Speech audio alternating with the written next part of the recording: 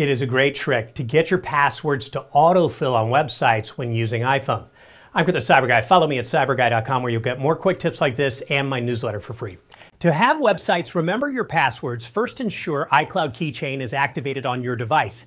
Here's how. Open Settings and tap your name. Tap iCloud, then Passwords and Keychain. Toggle iCloud Keychain to the on position. You might be asked for your passcode or Apple ID password.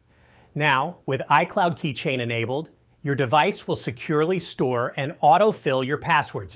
Next, here's how to use iPhone's Password Manager to securely autofill your passwords without letting websites store them.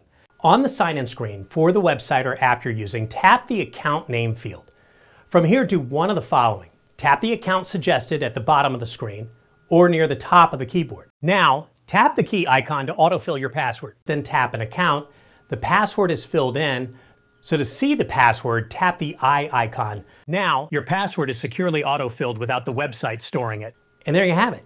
More quick tips like this at cyberguy.com. Are you getting my newsletter?